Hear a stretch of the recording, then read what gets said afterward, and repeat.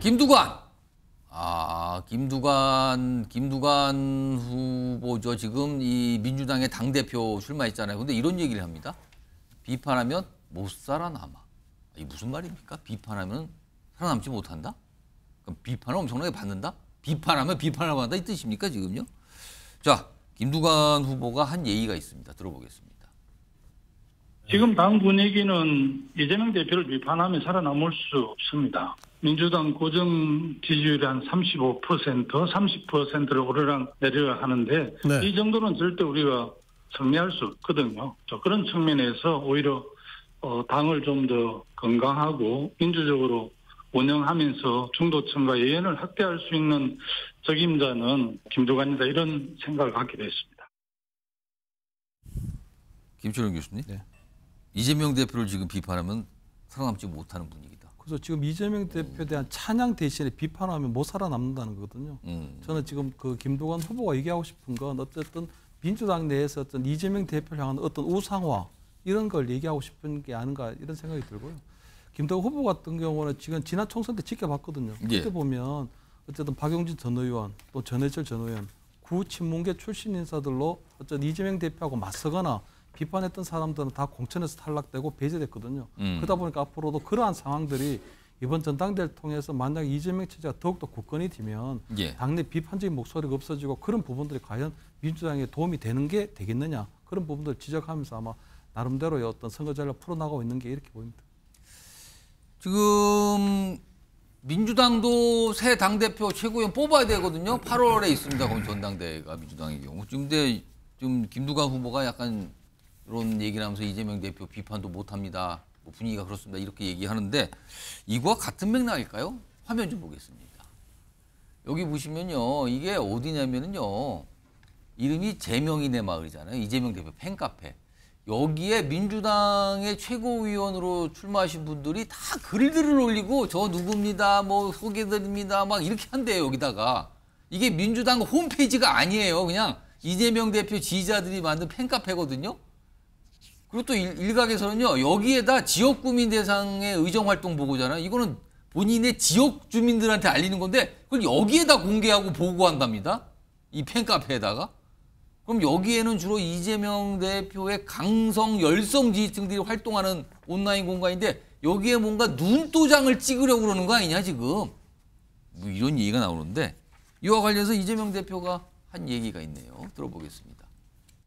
지금 모든 의원님들께서 소위 이제 친명이다라고 얘기를 하면서 주장하고 계신데 다 친국민, 친민주당을 그렇게 표현한 걸 겁니다. 어, 이재명 전 대표 지금 질문 받고 있는데 특별하게 많이 설명을 하진 않았는데요. 그리고요 다른 내용도 하나 더 보죠. 김동완 후보가 또 문제 제기를 또 하나 합니다. 내용 좀 보시죠. 그러니까 지금 뭔가 이런 불만 제기를 하네요. 뭔가 일정에 대해서 아니 정견 발표 듣지 않고 투표를 하면 이재명 후보에게 유리할 수밖에 없다. 그러니까 정견 발표 일정은 뒤쪽에 있는데 그 앞에서 당원 투표가 잡혀 있다 그래요 날짜가. 네. 그러니까 이거를 가지고 김두관 후보 측에서는 문제 제기를 하는 거예요. 이게 뭡니까 지금 듣고 뽑아야지 안 듣고 지금 투표하는 겁니까? 그러면서 이건 이재명 후보에게 유리한 거 아닙니까? 이거 유감입니다. 이렇게 얘기를 합니다. 김지호 부대변인 이거 어떻게 된 겁니까?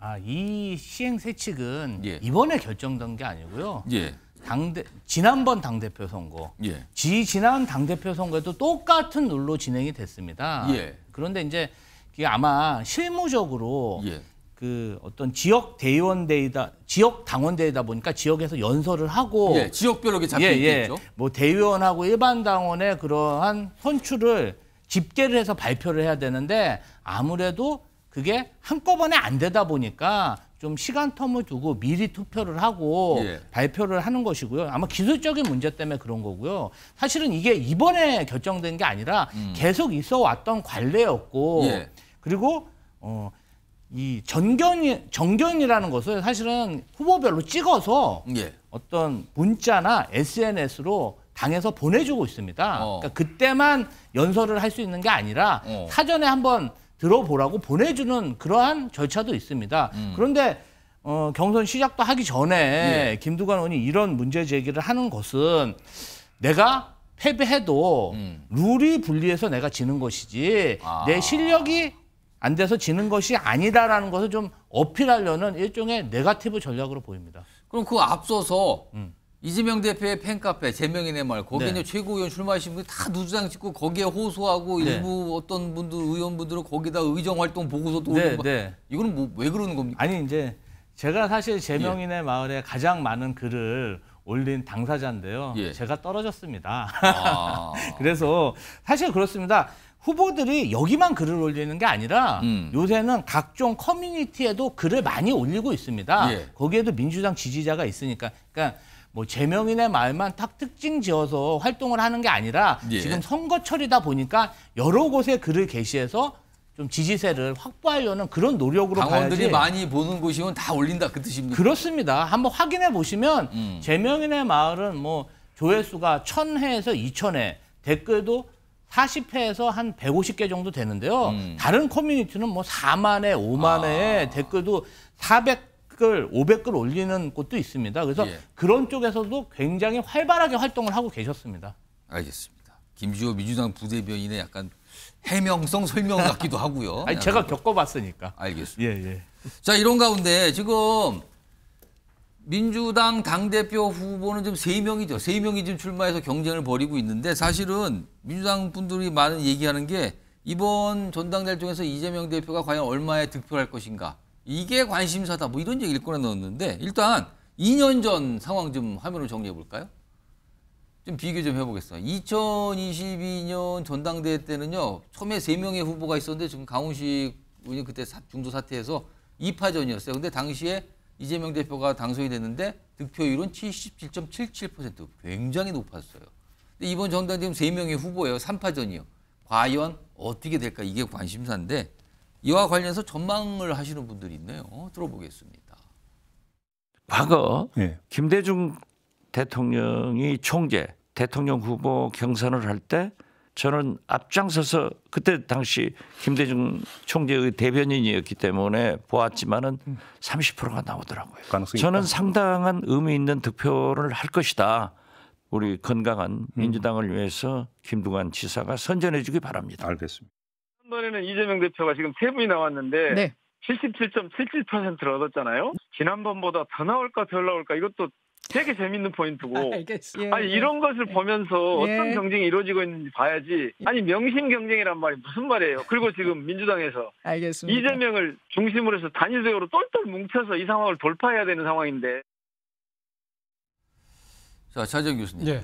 이번 전당대회에서 이재명 전 대표 이제 후보로 네. 나섰는데 어느 정도 득표율을 예상하십니까? 저는 이재명 대표 마음먹기에 달렸다는 생각이 듭니다. 오. 아, 그러니까 이재명 대표 입장에서는 그러니까 지난번 77.77%보다 아, 압승을 하면서 당내에 하나된 모습을 보여야 되겠다고 생각하면 음. 아마 그렇게 마음을 먹으면요 거의 80%도 넘어갈 수도 있는데 오. 문제는 아까 박지원 의원이 이야기한 것처럼 건강한 민주당을 위한 그러한 모습을 연출할 필요가 있다고 한다면 아마 조금 낮춰서 한 뭐 김도관 의원 후보한테도 한 30% 정도 갈수 60% 있는 대 뭐, 뭐 정도? 60% 정도 그- 그런 식으로 그러니까 지금 그러니까 전략적 선택을 아니, 할 그- 가능성이 높다. 지금 물론, 차재- 차재현 물론 제가 제가 차재현 이야기하면 교수님 말씀은 그게 조절이 가능하다는 말씀인가요? 예, 그러니까 그게 마치 그러니까 지금 부정선거처럼 들릴 수 있지만 예.